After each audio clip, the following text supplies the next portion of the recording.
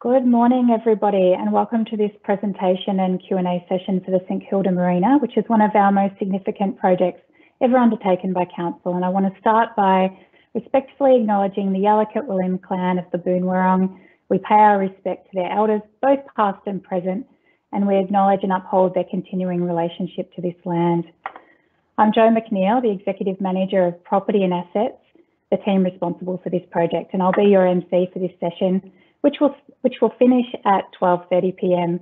Uh, we were hoping to have an in-person session today, but unfortunately we've had to go online. But fortunately, we've been able to continue anyway. And we've got today joining us Councillors Marcus Pearl, Heather Cunsolo and Councillor Andrew Bond. We'll be recording this session today and posting it on your, our Have Your Say page for those who weren't able to make it today. We last communicated with you in a public forum about the future of the site in July last year after COP announced the proposed tenant and the key terms for the St Kilda Marina new lease. And that was following a complex and long procurement process. We introduced the new, the proposed tenant, Australia Marina Development Corporation, AMDC, as we refer to them, presented the concept plans for the site and provided the opportunity for questions and answers. Since then, following a submissions process for the proposed lease, Council formally approved the new lease and its submission to the Council, to the State Government, I should say, for approval. The new lease was formally approved by State Government on the 1st of December last year and executed by COP and AMDC later in December 2020. Today is a chance for you to learn more about the concept design and provide feedback to the new tenant who will use this information to inform the detailed design part of uh, this process moving into the planning process. Uh, the purpose of the session specifically today is to meet or reacquaint yourself with the new tenant, to take you through in detail the concept design for the redevelopment that was previously public released publicly released uh, as part of the online Q&A session in July last year to provide a forum for your questions. And you can please post your questions anytime into the Q&A chat forum throughout the session, and we'll go through them with our panel after the presentations. And in doing so, it is hoped that you'll feel sufficiently informed to complete the Have Your Say survey that is live until 4th of July uh, to provide your feedback on various elements of the design and the use of the site. The information that we receive from the survey will be used by AMDC to inform their detailed design leading into the planning process. I'm going to start by summarising the various stages of the project that we have worked through to get to this point, and we'll spend a bit of time taking you through the stage that we're currently in. I'll then hand over to John Edgley, the CEO of AMDC, before we move into the Q&A part of the session. But please, as I said, start posting your questions anytime as you think of them, and we'll get through as many as we can, and we'll post the answers to any that we don't get to today on the Have Your Say page. Okay, so as you can see, there's been a number of stages to this project, starting quite a while ago, um, about four years ago. And the first stage was developing the how. So how do we go about this complex project to make sure we set it up for success? The second stage was working through the why. What what do we want to achieve for the site? What are the things that the public, the community, the broader broader community who use the marina from all over Victoria and state government? What are what's the vision and objectives that will guide the rest of the project? Stage three was about setting the what, translating the objectives into specific design parameters that can be used then to inform the development of a concept plan. Stage four was getting ready for the procurement of a new long-term lease, getting ready and then going out for uh, to the market for a, a new long-term lease.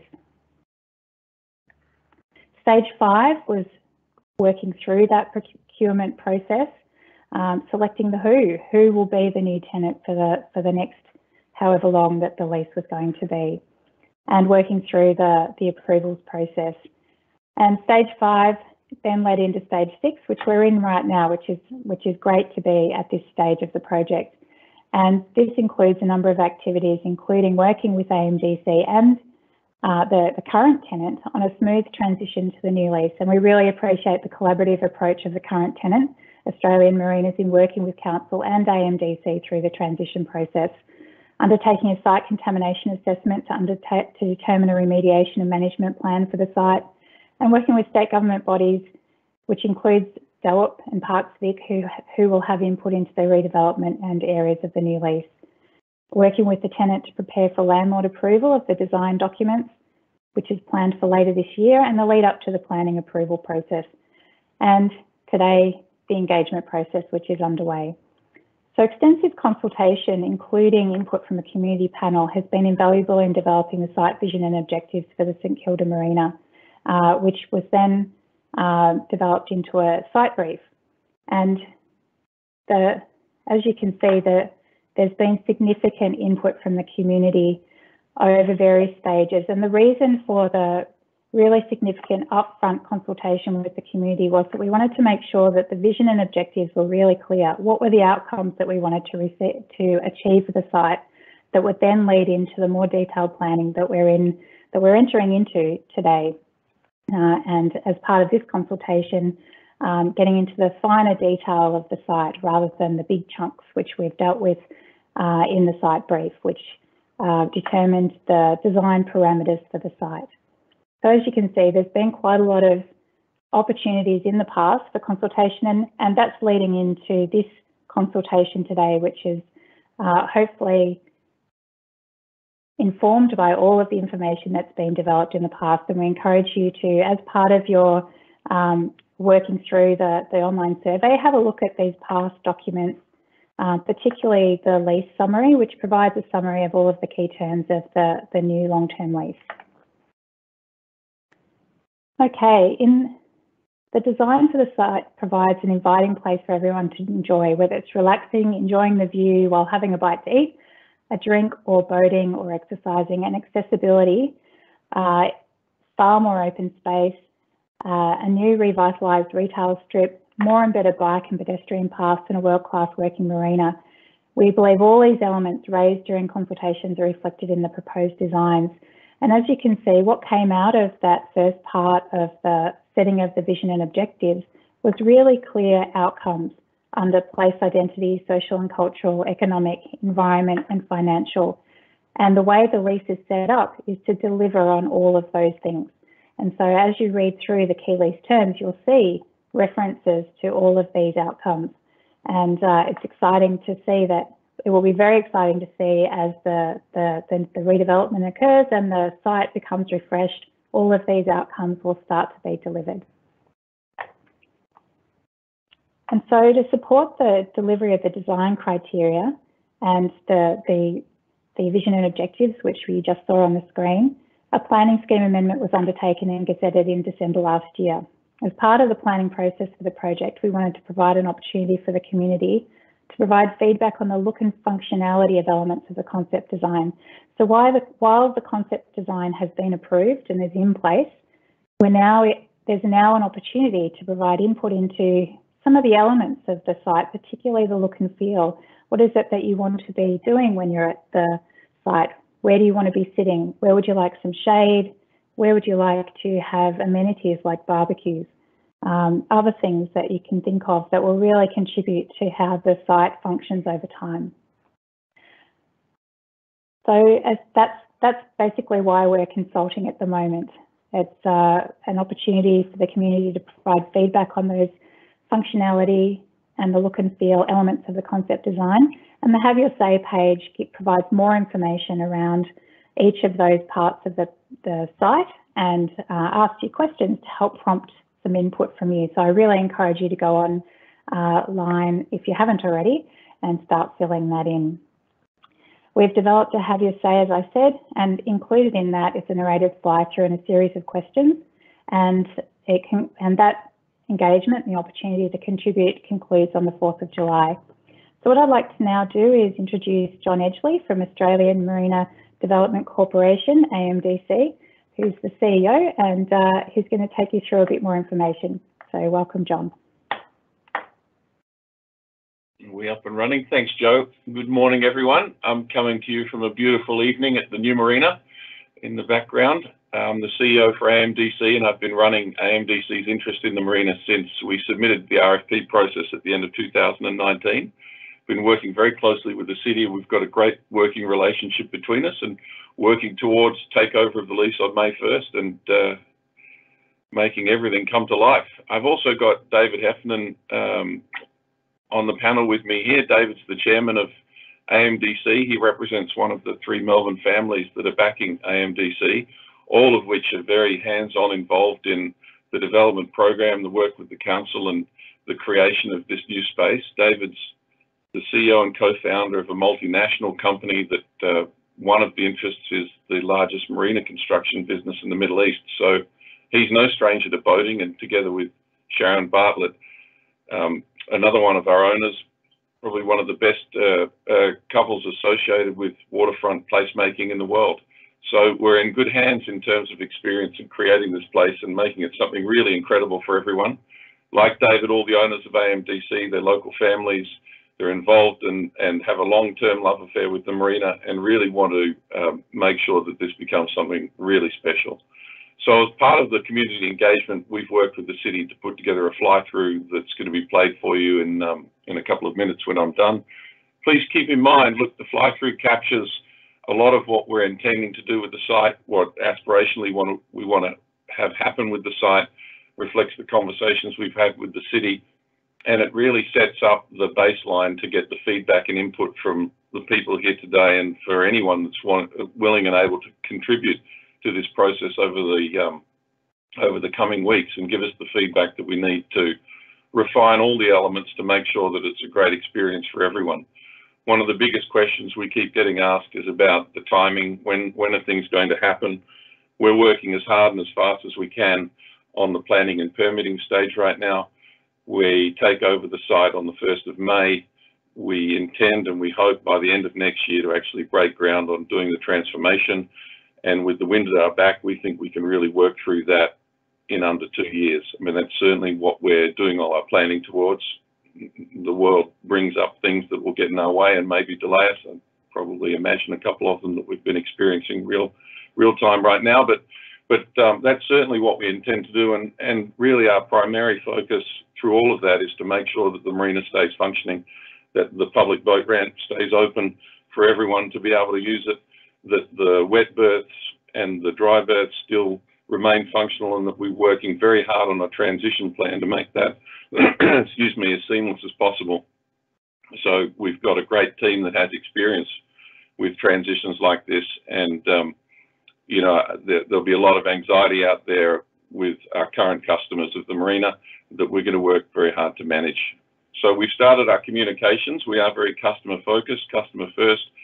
There's a little bit of crawling we've got to do before we can walk and run in terms of Privacy Act and getting permission to talk to the current customers of the marina. We've started that outreach. We've got about a third of the customers have signed up with us to receive communications and we're taking baby steps towards that. And over the next few months, you'll see more and more communication from us as we get from the from the introductory um, discussions into the real issues and the commercial issues and the um, fun and engagement of uh, the transformation. So if you haven't had a chance to connect with us yet, please do. Um, and certainly over the next uh, few months, our efforts will extend beyond customers into the new and the current tenants, into the general public, and working with the city on the programming and the events and certainly integrating any of the feedback we get from this process. So we've got an incredible comms team at Creative Factory, another local business that are managing all of that for us that we talk to on a daily basis, where um, we've got events that we're planning uh, that are coming out. We've got a, a, very good working relationship with the current marina operators, and we're talking to them on a weekly basis. And we really look forward to seeing everyone down there and, and being part of transforming this incredible site. Um, I'll hand over, I think, because the key thing we want to do is hear from hear from questions. David and I are ready to uh, address almost anything that you throw at us. I'll hand over to Sarah. She'll get the fly through going as a little bit of a, um, a teaser and some inspiration, give you a chance to compile some thoughts and get them through on the chat. And, uh, and we'll take your questions. Thanks.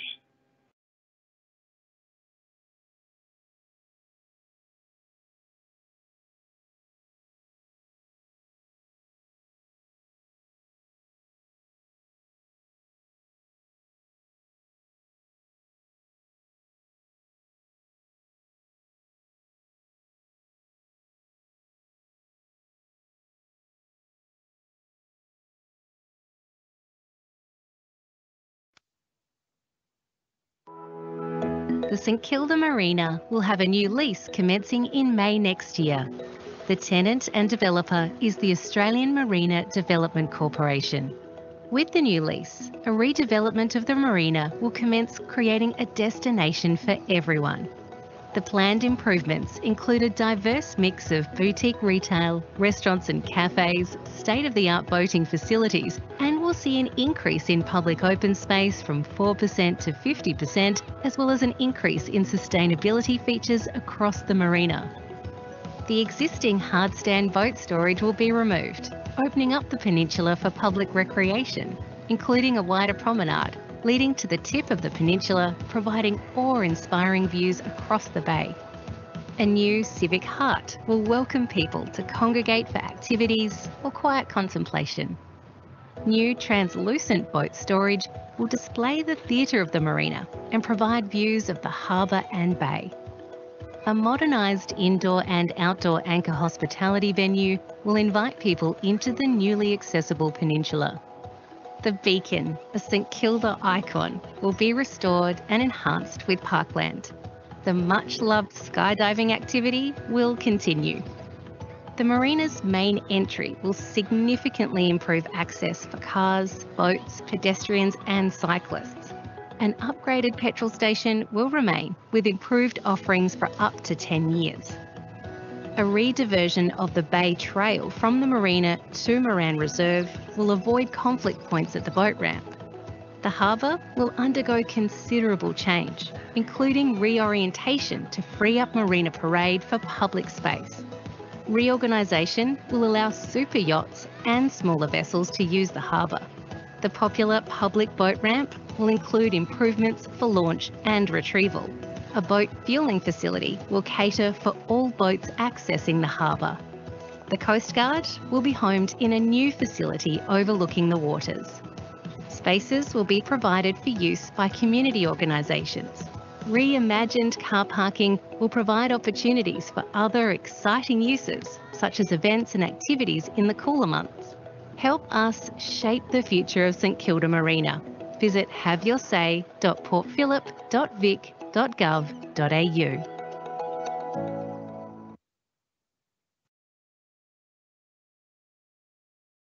Thank you, John, and great to see that fly through. And thank you to everybody who's already posted questions. We'll start reading those out. I'd just like to welcome Councillor Sirakoff, who, who has also joined us this morning. Uh, so I'll do my best to summarise the questions and then I'll hand over to the panel member that I think uh, might be able to start the answer. And then uh, if anybody else would like to uh, contribute to that in the panel, um, we will also pass over to you. So the first question is about the market rental uh, and noting that the council will, will now receive an, uh, a market rent that's different to what it was receiving uh, and which is about 750,000 um, per, per annum. Uh, and correctly, the question does state that um, council is not free to treat this rental as uh, part of general revenue. There's a requirement under the St Kilda Land Act that requires us to spend the income very specifically. Uh, and the Act specifically says that you must spend, council must spend the revenue around the, the marina to support the marina. Uh, and so the question is around uh, whether council will uh, put some of that, uh, and specifically the question says 100,000 for the first four years um, towards the building of a bridge in future, which uh, for those who are new to the project, uh, a bridge that links the Bay Trail from one side of um, from the mouth of the marina, having a bridge over that was something that was discussed very very in much detail and there's quite a lot of passion on both sides around the bridge. Um, the current lease allows for a bridge to occur in future, uh, but it's something that council will need to contemplate in future. And so uh, I will answer that question. So I've just confirmed, as I've said, that the Act does state that council needs to spend that money in a particular way. What we're doing at the moment is working with state government um, to clarify um, the future spending to make sure that there's a, a, framework for both spending and reporting over the next 50 years. And um, And it will include the opportunity to invest in a bridge in future if a future council decides that that's something that is worthwhile doing. Um, it will also include uh, investment in new uh, renewal of existing assets, upgrade and maintenance of assets around the marina and along the foreshore, uh, supporting foreshore use uh, as well as around the marina. And uh, that will be really important for supporting the con connectivity across the whole of the foreshore. So the second question that we've received is about the boats on trailers currently kept at the marina.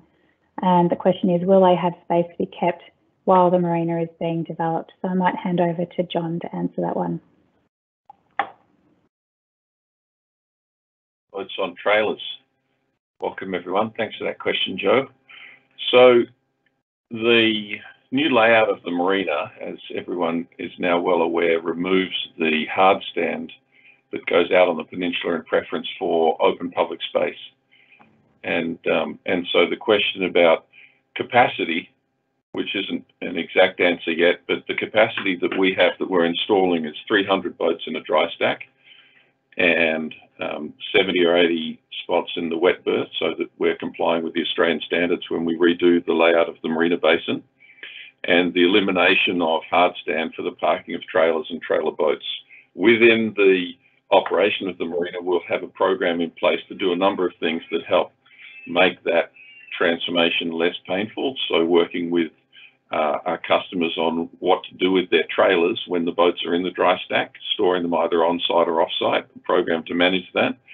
Uh, in terms of providing facility for, particularly for mast up trailer sailors, there is um, the way that the technology is being implemented for the car parking will mean that there can be multiple cycles around that mean you don't have to pay to go in and out of boom gates to be able to take extra time to step the mast and rig, rig the boats. I mean, that's not uh, the perfect scenario that's been in existence for the last couple of decades, but the but the ability to have um, the the uh, uh, Mast Up Trailer Sailor Club use facilities on site, which is part of our agreement with the city around providing community facilities, the ability to be able to use, I think, in an easier stand the way that the uh, car park flows for managing, and certainly in the transition or the time between when we take over and when we start the works under the planning and permitting um, program, there will be a number of months, I suspect, uh, where we can manage that transition.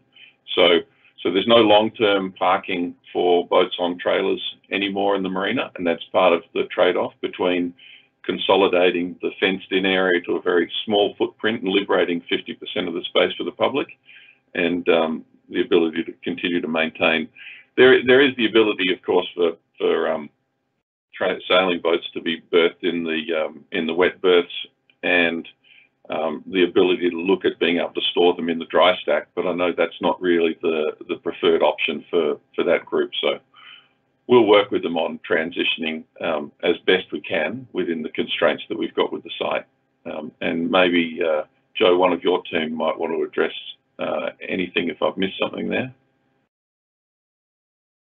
Great, thanks, John we might uh, keep going and um, we can uh, come back to that question if anybody else has got anything further to add. Uh, so the next question is about the Civic Heart and uh, we have a, a, a, suggestion for the Civic Heart about adding a children's playground featuring a replica of the Lady of St Kilda, uh, which is a ship uh, after which, this, which St Kilda was named, which is interesting to know and uh, seems to be appropriate to the marina from the person who posed the question. Uh, could be like uh, the very popular ship at the end of North Road that always has kids and family around it. So for those of you who know that one. Uh, and the, the question also includes that there could be, or proposal, that there could be two plaques, one explaining the history of the name St Kilda and the other history of the marina. Uh, so I might um, ask David, maybe if you could talk in general about the purpose of the Civic Heart and activation, and then maybe, uh, John, you could respond to the specific question about the playground. Sure. Thanks, Jo. Um, great question. Look, the whole civic heart, as you know, and, and we've mentioned before, now 50% of public ground, but that civic heart area, we're still working with our architects and internally um, looking at what you know what what is the best way to activate that and and for the public and to be able to go down there and really experience something special. So um, at this stage, uh, the area in terms of the sheer volume of the areas outlined in our in our proposal, but we're still uh, looking at at everything. I mean, the ship sounds a terrific idea, but we just need to really look at everything while we're putting all that together and working with the team that what's the best use of it. So um, without giving you a specific answer to that, I'd love to go down and have a look at that ship and understand what they're doing. And maybe next time we're down there, it'd be great to meet face to face and discuss it. Thank you, David. John, did you have anything to add to that?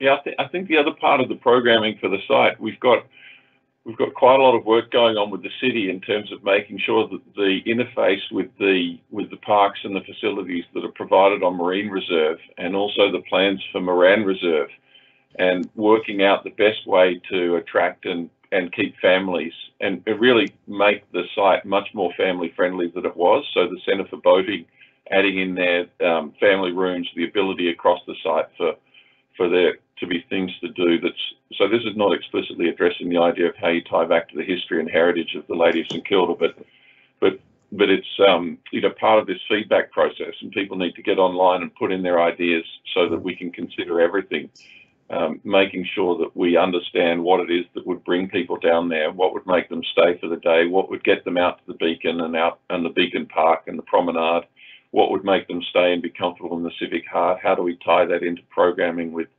um, St Kilda Festival with open air events, with relaxation space and contemplation space, and tie into the, you know, some of the original roots of the area with with um, artists and and art and and sort of culture, and and I think all of those things are what we're trying to balance with our design team internally and with the team at uh, the city when we digest the feedback that we get from this whole process. But but I think the outcome is going to be amazing um, the outcome will be incredible and it will really be a place for everyone to come and enjoy something very special. And, um, you know, I think the idea is a great one. We have to work out how that fits in and, and exactly where it might be the, because we've got so much more space than just the civic heart to do things here that are, that are for the public and for families and for children and in a way that we've never had before. So um, I think it's a great idea, and I think we should. The more people can feed these things in, the, the better options we'll have in front of us as we refine the engagement in the space.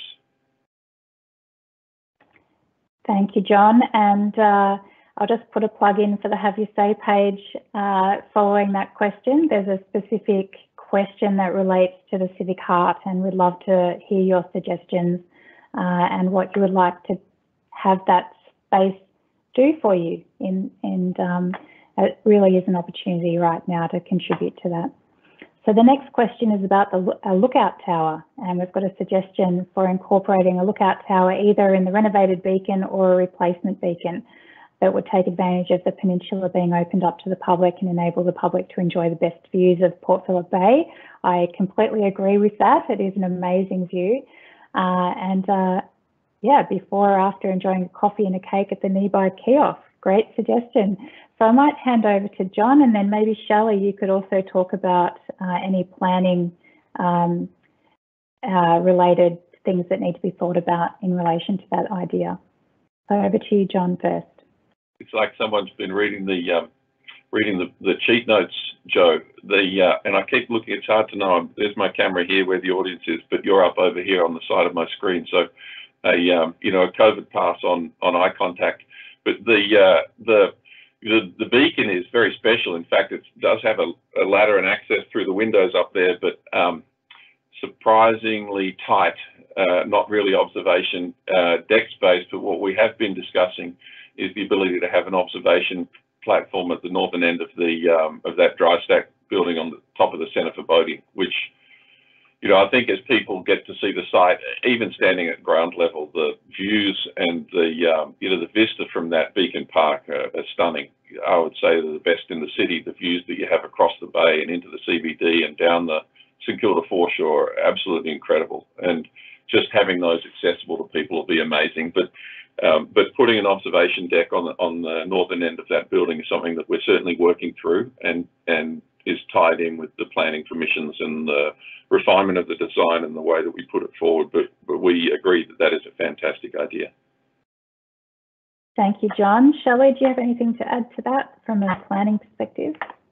Just the only thing to add is that the, the beacon is actually subject to a heritage overlay, so that will need to be um, taken into account with all of the works that happen and, and the planning controls really protect for the views to the beacon as well um, and across the site more broadly. So, so I think what John's talking about sounds great from a planning point of view as well. And, and it's just there's a bit of a balance that needs to happen there with the different elements on the site.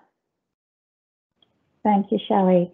So the next question that's been posted is about the Bay Trail and uh, the comment includes that they the person doesn't feel that the the proposed Bay Trail, which does is realigned um, somewhat in this um, concept plan, does not remove all of the existing conflict points between cars and pedestrians, and uh, with the most dangerous one where cars enter the service station and bikes reach, reach the footpath on Marine Parade, and the proposed Bay Trail. Uh, they, yeah, obviously, um, the person who's posted this feels very strongly about it being a tragedy waiting to happen. So, um, what I might ask is, well, the question is, should a new route for the Bay Trail um, that directly connects the existing trail in Moran Reserve with the new route at the back of the service station? Um, so I might ask Shelley if you're best placed to answer the question about how what we've um, attempted to do with the Bay Trail and the conflict points that are still there and how they might be managed and the idea of uh, a new route that directly connects the existing trail in Moran Reserve with the new route at the back of the service station. Um, so the planning controls, uh, which are based on the site brief that was initially developed, it, it is looking at trying to reduce as much as possible conflict points on the, the Bay Trail and, and in the controls and in the site brief, um, they show the relocation of, of that along Marine Parade. There is still the one conflict point where the entry to the marina is for vehicles um, from Marine Parade, and that will need to be managed um, through the design of that. And there's a number of requirements in the planning controls about about showing that and, and doing um, you know transport and traffic studies to make sure that that is manageable. Um, it, it also does show linking um, the the Bay Trail from Marine Parade through Moran Reserve as well. Um, and eventually, if if the bridge does, um, if council decides to proceed with the bridge, then then it could link in that way as well. So it would be kind of a secondary option for for riding, bike riding along that or, and walking along that space. Thank you, Shelley. And I know that the Bay Trail and the problems that the Bay Trail currently have is one of the things that was uh, where people were most aligned in um, acknowledging the need to resolve those issues. And one of the things that became obvious through uh, the, all of the discussions about how the site could be redeveloped was that you can't get rid of every single conflict point uh, because there are, are, different users across the site. But what you can do is uh, minimise them and then put in management of the site that really addresses that. And uh, maybe uh, David or John, you could talk about that kind of management perspective of in future how you'll be building that in. Jo, I think the the refinement of the system that we have for managing that single point across the uh, across the road, a bit the, the advantage is that we're managing the bulk of the traffic flow from the bike path across a single point rather than uh, where it goes across right now to the still controlled but relative chaos of the boat ramp, which is four boats wide, and in, certainly in the deepest season, you've got cars backing up, you've got you've boats being deployed, you've got boats coming out. It really is, there's a lot more going on there. And to maintain it around a fixed traffic point that's well understood with um, with operating lights cleans up um, every conflict point. There, there, there, may still be something at the back where cars go through the back of the um, service station to get over into the into the car park. We haven't resolved yet. As Shelley said, we've got the we've got quite a bit of work to do still with the traffic flow and the traffic traffic management plan to really finalise how we make sure those points are as safe as possible. What we do know is the solution we've got now is is a lot cleaner and simpler to manage than um, it is currently, and that um, that the signage, the wayfinding program, and the um, sort of where we put hard barriers versus landscape barriers all plays into the deep thinking we're doing now about finalising the master plan. And I think you know that's a that's a work in progress between between your team and our team, and and you know we are one team effectively, and, but but there's um, there's a bit of work to do to make sure it's as good as it can be, given the constraints that we've got. I think the key part here is though making sure that we're committed we're committed to moving the bike path behind the fuel station, so we don't have conflict coming off Marine Parade going into and out of the fuel station, which is one of the busiest points on the on along this stretch of road for, um, you know, there's not that many fuel stations left. And I think that's where some of the danger will be eliminated. Thank you, John. Uh, and I think it is also important, Shelley touched on it, that if there if there is a bridge in future, um, the idea is that the Bay Trail would be duplicated. So it would go along Marine Parade and it would also then go along the peninsula linked by the bridge. And uh, one would um, accommodate probably the faster commuter people who are just uh, intent on moving through the site, and then the, the the the one that goes along the peninsula would be a more meandering shared path experience. So that's that's um, linked to that future idea of a, a, bridge. So the next question is around a, a members area and uh, um, support for the principle of a members area uh, and that, that, it's a feature of yacht clubs that is missing in many marinas and uh, that uh, the idea is that a membership should be available to the general public. So uh, putting that uh, idea out there. Uh, David, did you want to talk to that one? Yes, more than happy to.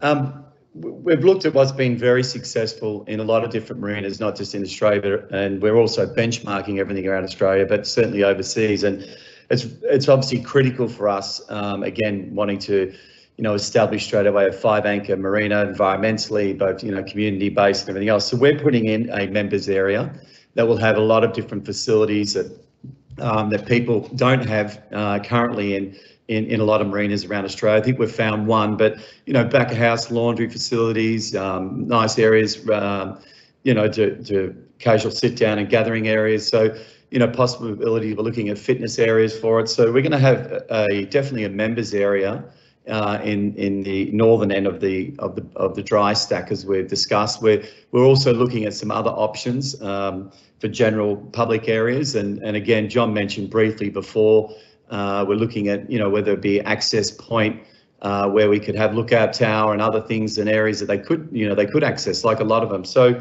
uh, we're, we're spending a lot of time, um, uh, all of us, the team working together on what what what is it that people really want, not just from boat owners, you know, people that want to visit as well. So we feel we're we're uh, getting very close of uh, articulating exactly that plan. So I'm more than happy uh, on the next session again. Hopefully, we're all face to face that uh, we could show you some of the ideas that we're looking at, and, and again, what what's currently offered um, in Australia, and where, where obviously we're going to be uh, at a different level of offering for everyone. So uh, it's yeah, very exciting for the site. Thank you, David. So we, we've run out of questions for the moment. Um, so while we're waiting for a few more questions, I might ask Shelley or Felicity if you could uh, maybe take us through what the, the planning process is from here, uh, which might prompt, and what, what the, uh, the process um, moving from detailed design into um, submitting for, for planning permits, etc. And that might prompt some more questions.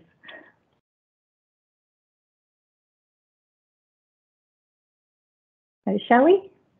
Yeah, I was just waiting to see if Felicity was going to answer. so we've got a um, we've got a two-stage planning approval process from here. So the first the first part of it is the approval of the development plan, which is kind of like the overall master plan for the site. Um, and then the second stage is the planning permits themselves. Um, and so there's a range of different requirements for each of those stages um, that range into quite detailed technical reports, uh, things like the traffic management that John mentioned before, also looking at um, some of the environmental um, issues on the site, you know, wave action plans and things like that. Um, also just, you know, providing all of the details on the uses on the site, how it's going to be designed, the public realm. Um, there's a real range of, of reports that are required to really just kind of go into that detail and make sure that everything works together and meets all the objectives and the vision for the site. Um, I think that's it kind of as a high level. Is there more kind of detail you wanted, Michelle? I might Oh, sorry, Jo? Shirley. Yeah, or Felicity? Yeah. Um, the all the documentation that's required to be submitted to council through the development plan is outlined in the development plan overlay, which is on council's website. Great. Thank you, Shelley and Felicity. So I might ask John and David, uh, and maybe we can go to the slide that shows the layout of the site. I'm really interested, I think there's an opportunity for you to share what the types of things are that you're looking for. What would you like to hear from people as they're, they're um, filling in the Have Your Say page? What are the types of things that would be useful for you to know about, like what people would like to be doing on site or where they'd like to be sitting? What are the types of things that would really help you in the in the next stage of detailed planning? So maybe uh, John and then David. Yeah, sure. Th thanks, Jo. Look, the the site is um, there's such a big transformation that's uh, going to happen with the liberation of all this space and the creation of all these public spaces. Everything from the suggestion about the observation deck and the um, uh, and the kiosk at the end of the Peninsula Walk. But there, there's 500 metres of uh, shoreline there that, that will be providing facility um, for people, whether it's just strolling along and enjoying the views or whether it's stopping and sitting. And the traditional way that you might do that is uh, with a picnic table and a coin operated barbecue um, and uh, a couple of bench seats. Well, we're looking for something a lot more impactful than that and a lot more engaging than that. So everything from community groups that are looking for a home for their monthly meetings and the sorts of things that they might do that could be associated with the site, like maybe nippers or um, the Coast Guard are based there, the sorts of things that the Coast Guard are, are talking about. And David and I have met with the um, current commander and the new commander coming in to talk about the sorts of programs that in the past they've been isolated behind a high, you know, a high chain wire fence. In the new layout, they're going to be available to the public. I mean, it's a fantastic service, right? To have an emergency service located there, housed within our facility, with all their training, their capability, just as a visiting place for kids to come down and really see what volunteers are doing. Um, what uh, what the artists might like. I mean, I've uh, I hadn't really been thinking about it, but one of the things that came up when we were doing some of the early conversations was instead of a picnic table, what about an outdoor art studio where someone can come and set up their easel? What do they need out there? We've got we've got the um, wonderful luxury of, of redoing this marina in an age where Wi-Fi and digital technology mean that we can have uh, the site will be 100% solar powered. So we have the ability to tap into a totally green energy solution to provide charging stations at various points around the site, to provide metered stations that have different power points to tie into, utilities to tie into.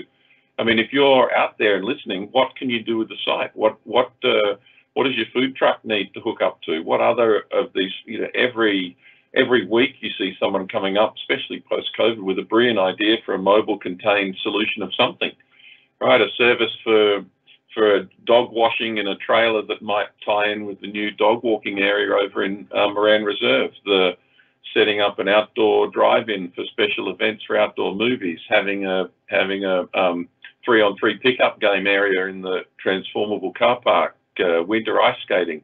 I mean, this is a this is a the site will be available unlike ever before for anyone out there with a great idea to work with us and to work with the city about how they can program something that really brings people down to either tie into an existing event or to start a whole new event. We've we've had someone talking to us about the World High Diving Championships that could be located just offshore here and tie in and either bring in hundreds of thousands of people from around the world and and massive TV viewership. I mean, that's a big idea, but we're after everything from big ideas to small ideas. Um, and and while within our team we've got tremendous reach to be able to think about um, what's out there and what's available and come up with something. But often those really unique ideas that truly tie into the community come from within the community. So that's what we, re- I mean, we're really hoping to get some some um, fantastic feedback and, and ideas from this program that that uh, elevates everything we're offering and really lets people understand this site is for everyone. Right, this site is is opened up like never before. It's a, it's a sensational piece of property. It's, it's for boaters and we're dramatically improving what we're going to do for boaters, what we're offering for boaters, the scale of boats that can be both indoors and outdoors, um, everything to do with the water, but getting people that don't have boats on the water's edge, sitting as close to the water as they can be, enjoying the theatre of the boating. Um, what do you need to do that? What do you need if you want to plug in your um, your PA and do a do a you know, a makeup session, an open mic session out there in the Civic Heart in the middle of uh, summer? What do you need to be out on the peninsula? What will it get you out there with your kids to enjoy um, the foreshore there? Maybe what we can do with the beach area. What is it? What do you need to be able to clean up afterwards? What are the best family facilities you've seen to help you manage your children and you know, your um, cleaning up after a day, either on the water or just in, uh, enjoying the place? Is it a is it a playground, another playground? Is it a something else, right? Is it a, an outdoor cleaning facility? Is it a I don't know. I can't imagine what it is people need, but we want to hear from them and we want to hear what those things are. Well said, John. I think you covered everything. I think one of our main goals we've always been saying is when you wake up on Saturday morning and you think, what do we want to do? We want to go to St Kilda Marina, make it that real destinational uh, fun place that's you know that everyone wants to be at. And I think that's right, John. Any anyone who's got any great suggestions, even you know non-seasonal. Some of those winter days are pretty bad down there, but we still want to have activities or something that you know there could be uh, great that families and boat people, boat owners, or whatever it be, you know, uh, wants to be able to do in, in on those cold days as well. So I agree, John. We welcome anyone's thoughts on uh, great ideas to activate that area and I think it's uh, terrific. So please send as many of those ideas in. It'd be great. We'd, we'll welcome that. Thank you, David and John. So I've had a few more questions come in. One about uh, which consultants prepared the concept design for the architecture and landscape. John? Yeah, I can answer that. So um, uh, Jackson Clement Burrows, JCB Architects, also very familiar to the city who are doing the um, St Kilda uh, Pier redevelopment with um, Parks Vic um, and AW Maritime. They prepared the master plan and the um, and worked with us through the concept plan and submission. And Aspect uh, Studios, also prominent in the area, um, were involved in really doing the baseline for the landscape layout. Thanks, John. So the next question I think is probably also for you uh, and it's around the, the area that's currently used for storage of trailered uh, boats and uh, which obviously as you can see in the, the, the, concept that's on the screen for everybody that's now been turned into a, a public park area. Um, so the question is where do we not now store our boats? So the so the the dry stack has capacity for 300 boats. And um, and the boats that are currently on the hard stand have the opportunity to move into that dry stack. I mean, there's a there's a the commercials of running the marina is uh, is around contracts for those storage, but there's no hard stand storage at all on the site anymore. And I know that's a fundamental shift. That's the trade-off I mentioned earlier between liberating all that space and making it available for people um, the trailers also, so we haven't resolved the final answer on that, but within the dry stack, there's space for trailers, either stacked on uh, place for a boat. I mean, we're getting into the mechanics of how we operate a dry stack, but um, whether they're stored on site or off site, and again, that'll be choices that people have about what they do with the trailer that the boat comes on, a very specific one. Um, and then, of course, we've got the wet berth area. So the the ratio of wet berth to dry storage in the marinas changing fundamentally, um, and the scale of boats that we can um, accommodate is increasing dramatically. So right now, the limited dry storage under roof on the site, I think extends up to about six and a half or seven meters, which at the time was absolutely appropriate back in uh, the 60s when they built the place.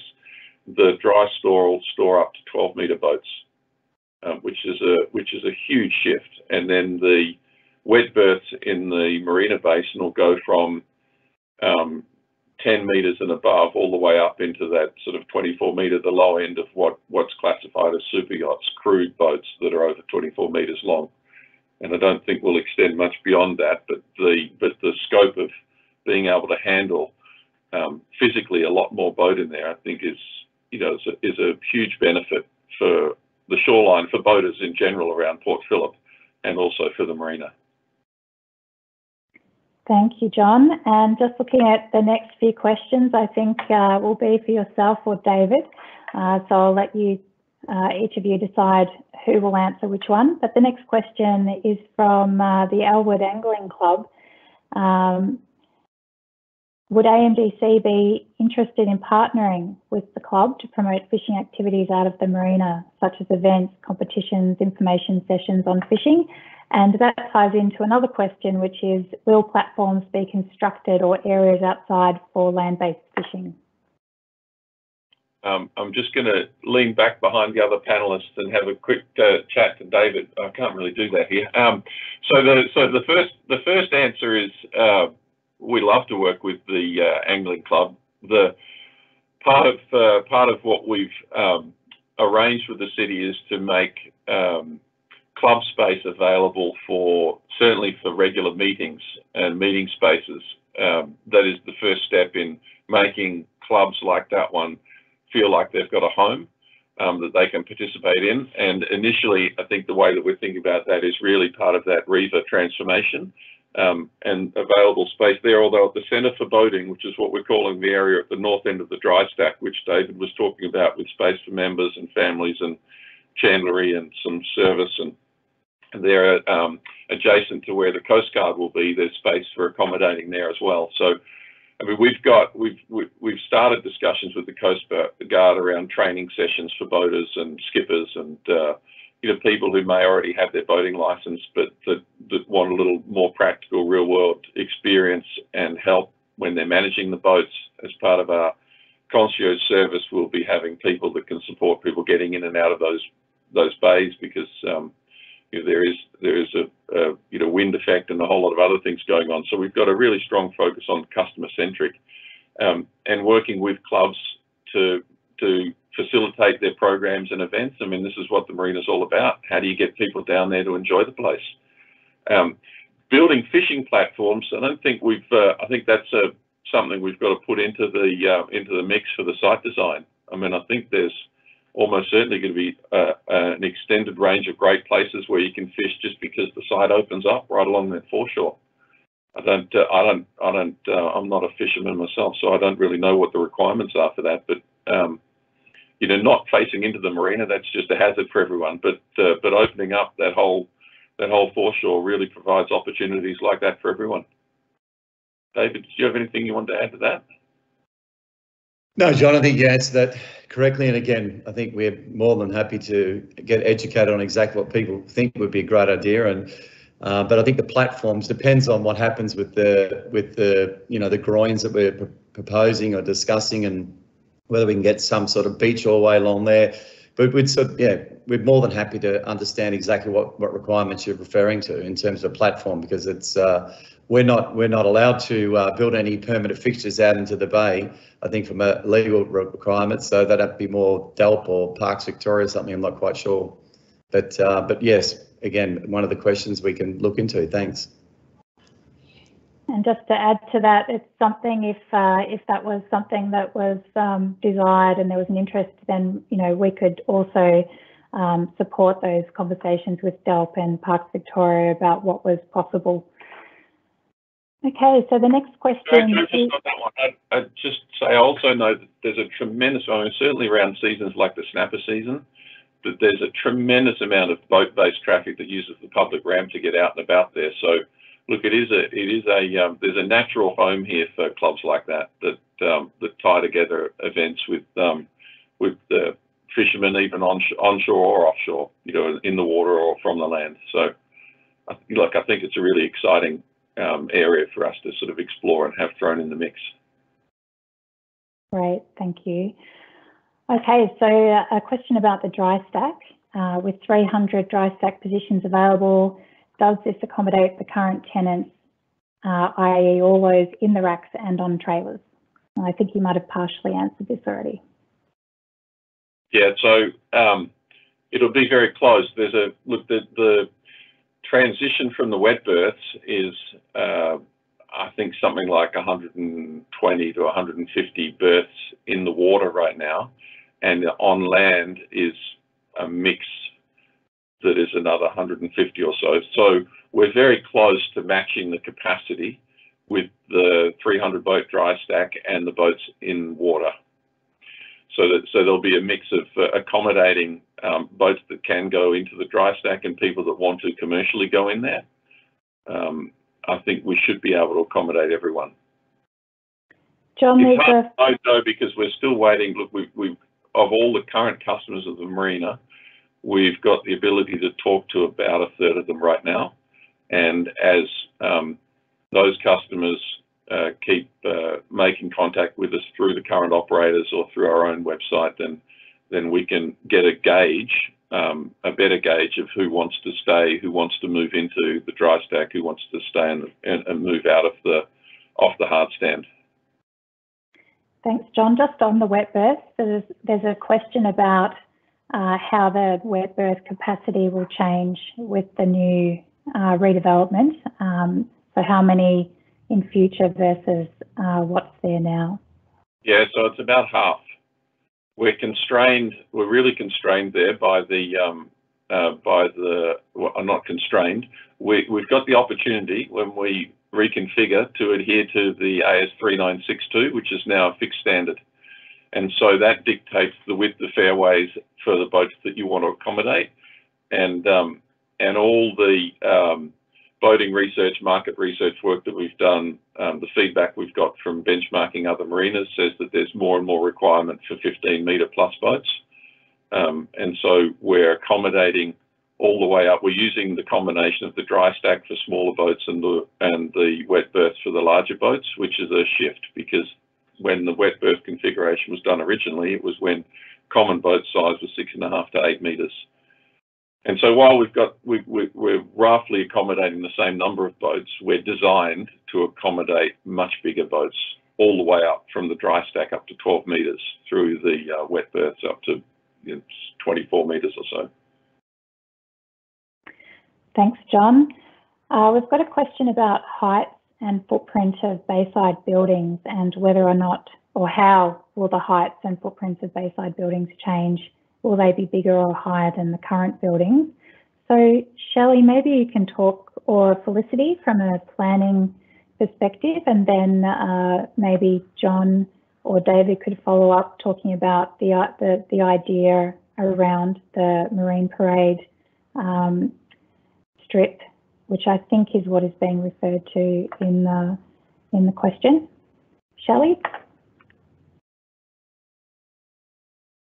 Sorry, Jo, I was just going to um, clarify. Bayside means the water side or the marine parade side? Well, maybe just to be safe, uh, talk about the, the heights in general across the site and uh, how they uh, how they're different in the different zones and uh, compared to what's there now. Um, so there's so the planning control set maximum building heights for different areas of the site. So along um, Marine Parade, it's a it's a minimum it's a maximum building height of 11 meters, which includes all the roofs and everything like that. Um, in saying that, you can see that the design that that um, John has come up with here, it, they're only single story um, buildings, so it'll be similar to kind of what's there already in terms of the building height. Um, it's just a different configuration of the buildings along there. And the planning controls, which which I understand this adheres to, basically says within that kind of um, section, you can only fill half of that space with buildings. So you couldn't have a single building that went the whole way along. Um, in terms of where the dry boat storage is, the maximum height there is up to 15 metres. Um, and then there is an allowance for some architectural features um, to come another three metres above that, as long as it doesn't exceed more than 20% of the of the um, gross floor area. Um, so that is higher than what the existing dry boat storage um, buildings are at the moment. From memory, they're around 10 metres. Someone please correct me if I've got that wrong, 10 or 11 metres. Um, so, so that will be higher. Um, and then the Riva building, I'm understanding that's a, a renovation of the existing building, so it will be somewhat similar to what's there already. Thanks, Shelley. John or David, did you want to follow that up with um, maybe a, a, bit about the intent of those spaces? Yes, certainly. So Marine Parade, um, as it's shown, is single story, and um, our intention is to keep it like that. Although you know within 11 metres you can you can fit a couple of stories, but the um, configuration we're still working through. The final configuration we're still working through internally and with the city on how best to group that retail space together to, to make it as vibrant, interactive, and and um, open and engaging as it can be. So I think the the final look and feel will be slightly different, but it's certainly well within the planning scheme um, heights. Thanks, John. So we've got a question about transition for the site and uh, what will be uh, provide, how will the transition be managed around um, storage of boats as you move through the redevelopment? So who would like to answer that one? Well, I, I didn't have a go at that one too.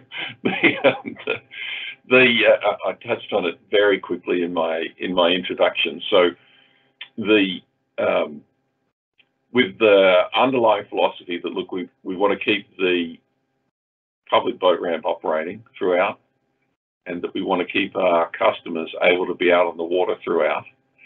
The first phase is building the dry stack, and in order to do that, we've got to demolish what's existing. So we need to move anyone that's remaining on hard stand or current dry stack customer to the northern end of the peninsula so that we can manage their boats and we can still have construction going on at the dry stack. As soon as the dry stack is complete, we'll move those customers into the dry stack and we'll move in those customers in the wet berths that uh, elect to go into the dry stack so that we have at least minimized the number of um, of uh, boats still in the water while we do the transformation of that space from anchoring on the Marine Parade side to anchoring on the peninsula side. And we're probably going to do that in two stages so that we can um, work around the movement of boats. There will be some juggling that has to happen. We'll be have a, an army of people moving as fast as they can to try and make it uh, as painless as possible for the customers. But we're thinking hard about that now. Um, everything else, I think, happens in an orderly fashion. So the restoration, renovation of um, of the Riva building, the redevelopment of uh, Marine Parade, the the um, finalisation of the landscaping and the opening up of public areas, all can happen once we get the dry stack built and we can isolate the boating operations to that small footprint. Great, thanks, John.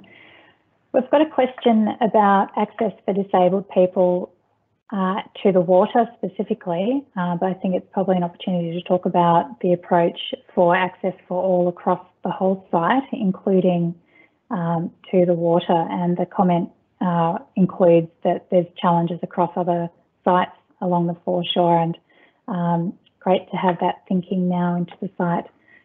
David or John? I'm happy to, and on the water side, thanks, Jo. I mean, we uh, we already build in the code for all access there, for, so there won't be any issues. We're not having little gangways or little trip points or anything else. There's smooth transitional plates from the from the land to the uh, very wide gangways and, and walkways, and there's, we've also got buggy services around the whole site. Um, so more or less from a water side, that's being addressed uh, and it's all part of the Australian standards anyway. So it's it's all clearly defined in, in uh, the standards which John mentioned before. So um, we can, you know, we can circulate those as well. But yes, it's been completely addressed and there won't be any issues whatsoever. Great, thanks, David. Okay, so the next question is about the car park and the foreshore, the vegetation, um, that it looks like on the concept, uh, low-lying shrubs and grasses. Is there an opportunity for larger trees for shade uh, and beauty, like Catani Gardens, for instance? John?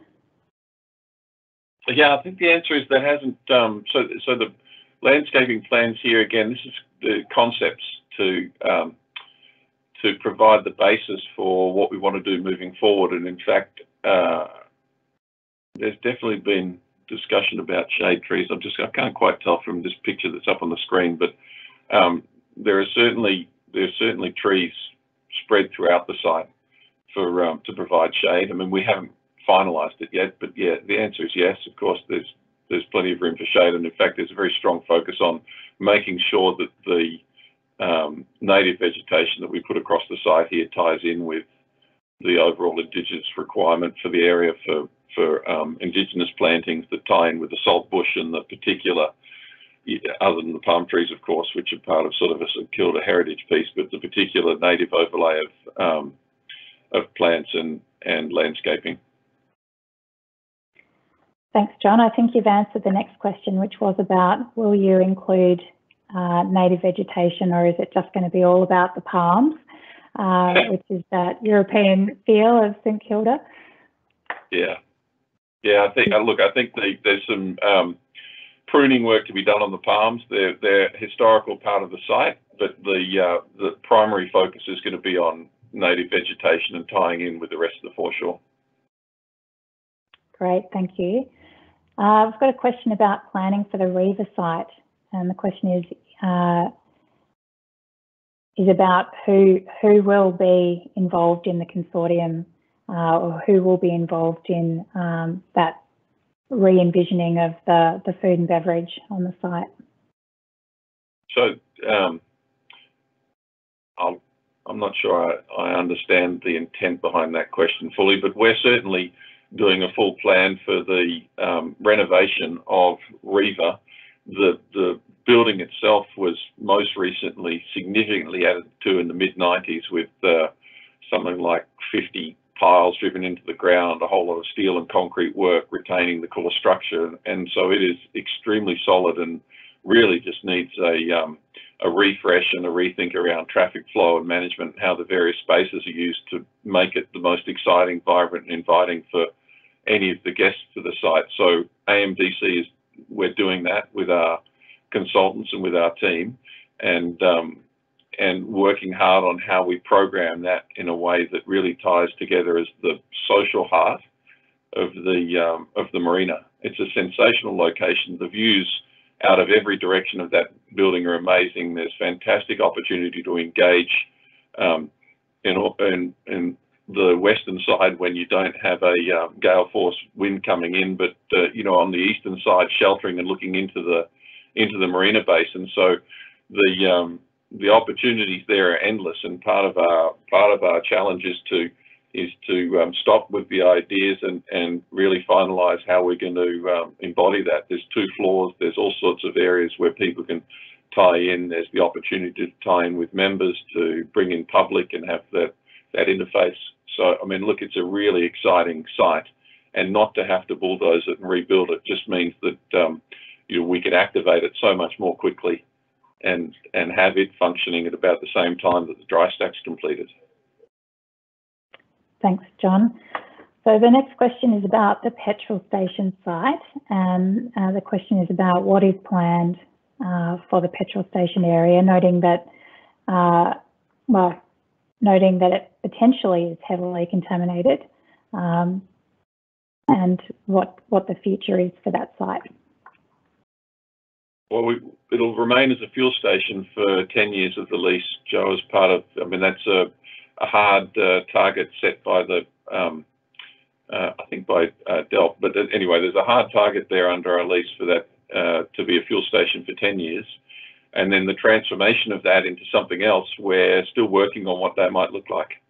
Uh, I think under the development plan, we um, have to submit some ideas and certainly in the lead up through the RFP, the idea of transforming that into another logical extension of the marina with some retail and with some F&B and with something there that really engages and adds to the to the experience people have when they come on the site. We haven't refined it beyond there, but the contamination of the of what's under the ground, you know, the big operators like BP that are there now are very well experienced at um, managing that sort of thing. And you know, in the background, we're working very closely with the city on making sure the entire site is safe and and uh, for everyone.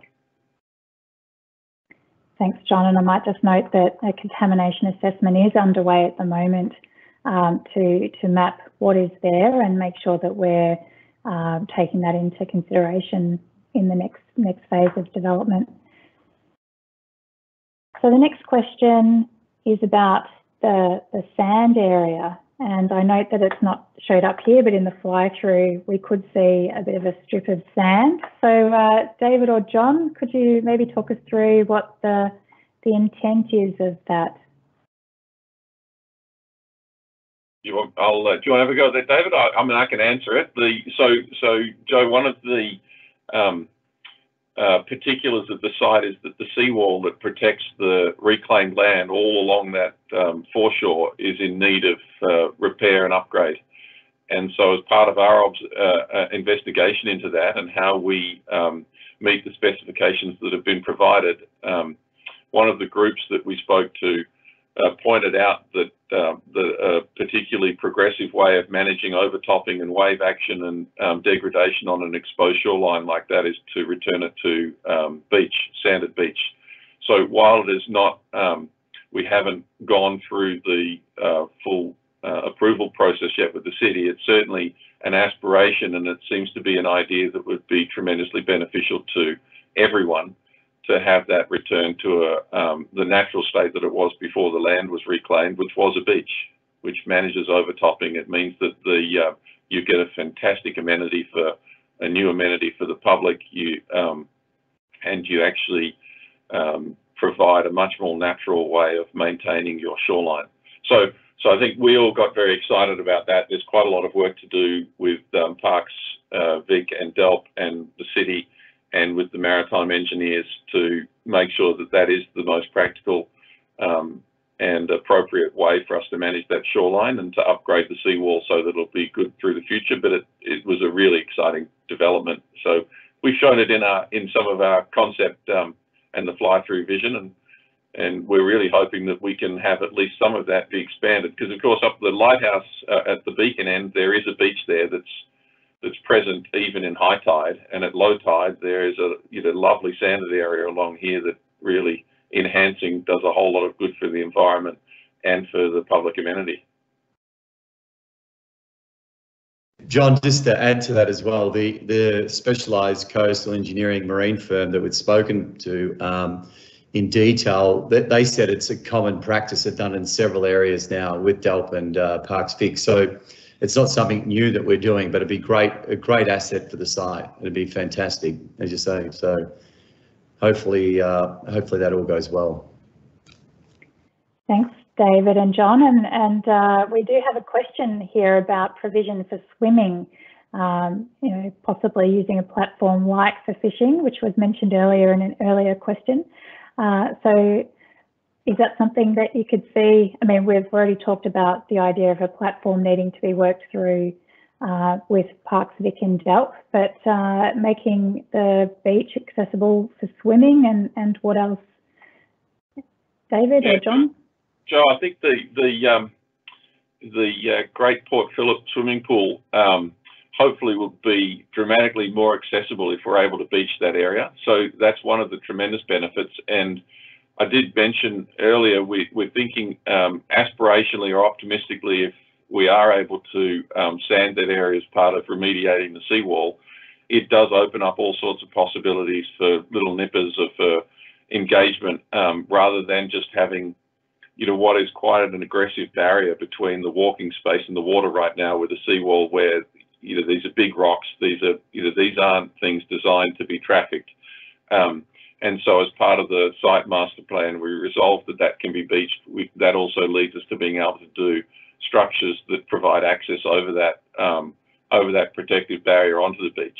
And, and so we've, at least conceptually been starting to to work through where would that be, how does that um, provide the best access, what points do you do it so that it gives the most engagement and and uh, it really opens up a lot of very exciting things for the public, right? Because that whole area right now is chained off and and um, when we're when we open up the site, that whole waterfront becomes public access. So so I think that we haven't focused too much on um, thinking about a swimming pool on the in the hard stand of the area or even within the uh, within the marina basin because the beach area is is such a big attractor and, and just a fantastic opportunity if we can make it accessible and beneficial for the site. Thanks, John. Uh, I've got a quick question about whether or not the lighthouse is operational and could that structure be used? Who can well, answer so that? Yeah, it's it's um it's not a lighthouse, Jo. It's a uh, it's just a it's a it's a beacon that has um, lights on it, but it's not a not an official way station for navigation. I think it's used as a landmark for that, but it's um it's it's uh, dare I say ornamental. It's um yeah. I'm yeah, happy for it. Shelley maybe. I think ornamental is a good word for it. Uh, it does have uh, Shelley, correct me if I'm wrong, or for City, it's got heritage significance. Yeah. I think Maurice, Morris um, from the uh, Coast Guard could probably give us uh, a more official review of, of what the beacon's good for. Um, yeah. Thank you.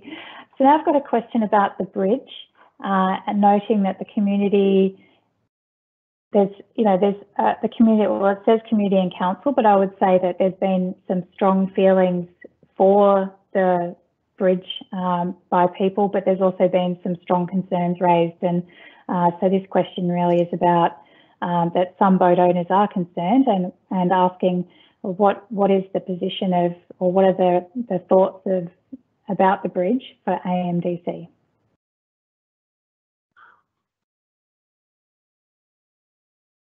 John, uh, do you want me to uh, touch on that one? Look, fr from our point, of course, we, uh, our specialist uh, marine engineers raised some really relevant concerns about putting a, a, a, bridge there, but obviously taking costs aside, I mean, there you can put a bridge, as many bridges on marinas, but it'd be obviously quite a costly exercise to be able to make sure that it's completely functional and safe for, for boating as well as for pedestrians. So, I mean, there's a lot of work would have to go into it, and we agreed that we would, you know, work with uh, work with the city, you know, uh, about, you know, if if there was a desire later on of, of well, what best from a marine coastal operational point of view um, but you know, it's certainly um, you know there has to take a lot of considerations in. Thanks, David. And I would just say uh, add to that also that you know the the ability for a bridge to be um, developed later has been built into the the lease agreement, and uh, so it can be developed in future. But any proposal for a bridge would have to take into consideration the function of the marina and make sure that it's accommodating all of the users of that site as well. Um, so there would be a lot of work involved in, in uh, the planning for a bridge and obviously consultation as well. Um, so while it's contemplated in the lease that a future bridge um, needs to be accommodated for, at the moment there's no um, there's no plan to pursue that currently. Okay, so uh, we've got a question about what hours will the dry stack operate? Hopefully a straightforward question there for you, David or John. Or maybe not, you might be still thinking I, um, about it. I, I, haven't, yeah, still thinking about it. I haven't, uh, it'll, it'll operate the uh, hours that are necessary to keep our customers happy. I think, uh, I don't know whether that's five till, uh, five till, five till midnight or, um, what those are. David's probably got more experience um, operating and being part of these than I have, but it's you know we, we're very customer focused, and I think that uh, I'm expecting that the hours will be long. Yeah, and, and as you said, John, in different seasons, whether it be the snapper fishing season or other things, we'll work with with everyone to see what exactly their requirements are. But of course, it will be set hours. It's not 24/7, uh, even though it's uh, uh, it, it, will have some downtime. But but we, as I say, we'll work with everyone on what's what's appropriate. Thanks, David and John. So I've got a question about the type of integrated water management features that are being planned for, and particularly the filtering of stormwater and the improvement of stormwater outfalls in light of sea level rise. Who would like to have a go at that question? I'm happy to have a little go at that one too, John. I'll let you off a little bit. The um, again, with our infrastructure consultants have been looking at it. A lot of the time with the storm water now, they have what they call gross pollutant traps and a lot of these will then can you know capture any of the any of the rubbish and can be easily maintained from us so we don't have any uh, adverse effect to the environment. Um, so there's a lot of new technologies and and uh, that are out there now. So we're going to apply those. Obviously, when this was originally built, they didn't have any of these technologies. So fortunate now, everything we're doing, from whether it be water-based or landside-based, we're we're um, putting in the in the best measures, the latest uh, practice or technology to adopt uh, uh, adopt the best practice. So yeah, and that's also part of our our overall plan, whether it be on the land or in the water. We uh, part of our um, submission for winning a five-star anchoring thing is also addressing the environment. So, yeah, I hope that answers the question. Thanks, David. So I've got a question about how long the construction process will take and what the hours or days per week would be for construction. So moving into out of planning into construction thinking into the future? Yeah, I think that Jo, the the um, I, I mentioned in my preamble that we're going to work very hard to keep the transformation of the site to under two years from when we get started, the main parts of it. And I think I don't think we're anticipating anything beyond a normal um, workday week. The the benefit that we've got is that um, the dry stack and the wet berth, a lot of the um, hard work on those constructions get gets done off site. So they're actually relatively quick and painless to put up. They're, they're, you, we can't avoid the civil works, but again, we've got a very light touch civil works program that isn't about doing huge amounts of excavation. Um, and so we're going to have to, I mean, we're very conscious of timing that around um, being on the fringes of active, you know, suburban or, well, urban areas where people are living and I think that you know that's just part of good practice for for what we're implementing. Thanks, John. We've got a, a comment and a question. So a comment about um, a previous submission about impacts to rigging, de-rigging, launching and retrieving trailable sail boats and concern about the lack of rigging and loss of pontoons and uh, a request to meet um, to discuss those things. So maybe you could um, either David or Johnny could talk about um, those concerns, but also uh, the request to meet and, and whether that's a possibility for anybody who would like to. So I think I think the, the one of the parts that I'll pick out in there, Jo, that I just want to address straight off the bat is the um, the rigging pontoons. So I think in an earlier iteration, the designer just showed that there was the pontoon on the um, on the Riva side of the boat ramp wasn't included.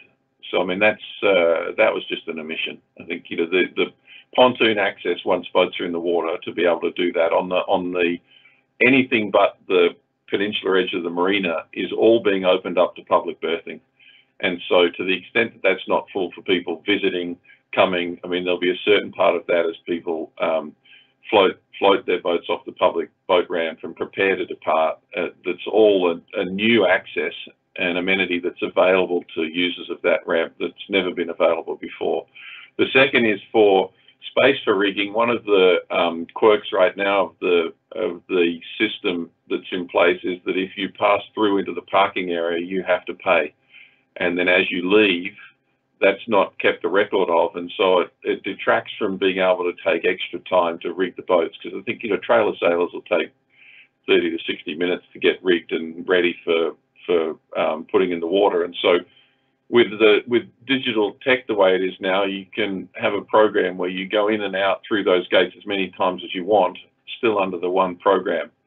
And so I think, look, I think the traffic flow and the work, uh, we still have to do some final refinement of that um, will improve the ability to manage mast up trailer sailors alongside, for instance, the easiest uh, delivery is a jet ski where you, I mean, it takes, you know, minutes to get it into the water. And so, and so we're well aware of that. And of course, we're willing to meet and, and talk about those as we get closer to, um, closer to configuration and, and finalising the way that the um, traffic patterns flow. I think what's important is that through the Have You Say website that we capture these. And the mast up trailer sailors have been in, you know, very vocal throughout the process. So we're we're um, aware of the need to have a conversation with them to see what we can do and what's possible.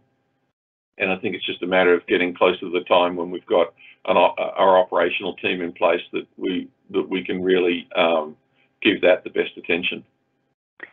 Thanks, John. And um, we've got five minutes, well, four minutes left now, and I'm going to see if we can get the last two questions in really quickly.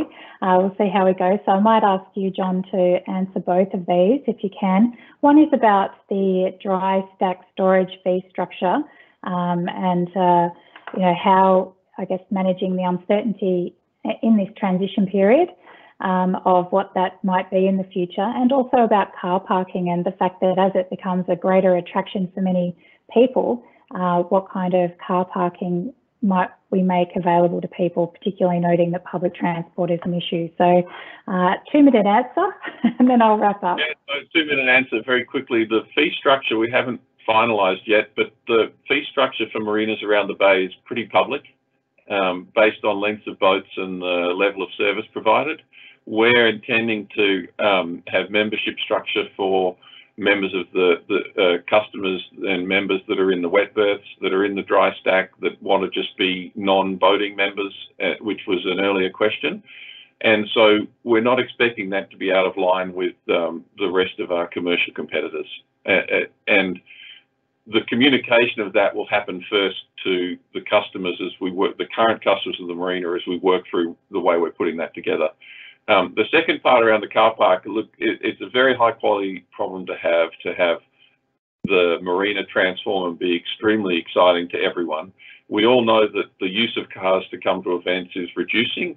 We've got some constraints. I mean, we're significantly constrained on the land by how many car parks we can have. And one of the ways that we're addressing that to make a, a good blend between um, boat and trailer parking versus public for certain events is having this reconfigurable car park, which is which is pretty straightforward given the technology we're putting in place. So being able to carve out parts of it for markets and uh, events like sporting events, but also being able to carve off part of it for specific car only uh, uh, use at certain times. I mean, I think that's the sophistication that comes with redeveloping the site is that we can be as good as we can be about managing that as possible given the constraints of the site. Thanks, John. Very succinct answer. Uh, David, just before we wrap up, is there any final thoughts from you? I think John covered that uh, well, but I th- look, the reality is, uh, as John said, it's very, very public in terms of the fees. We we don't see much change uh, for any of the uh, current uh, existing boat owners. So, but again, we have been we're going to have a build a permanent presence at the marina in the in the coming weeks. So I welcome anyone if they want to just come down the office, make an appointment, or just walk in and, and see any of us, and we can run through all those questions and clarify for them. Uh, uh, which our door will always be open. I say we'll be full full manned down there. Um, I think within the next two weeks. So welcome everyone to come uh, down to the marina and meet all the other owners or directors and and uh, speak with John and myself, and we can we can address those further if they want to. Thanks, David. And you also have the website that has contact details as well, which is great. So uh, that's all we have time for. Thank you very much, everybody, uh, for your attendance today. And thank you to everybody who's participated in the panel. Uh, your feedback will be collated and given to Council for, from the Have Your Say page, um, which is a really important input into the planning process moving forward. So thank you all again uh, for giving up your time on a Sunday morning and uh, have a great rest of the day. Thank you. Thank you. Thanks, Jo. Thanks, everyone.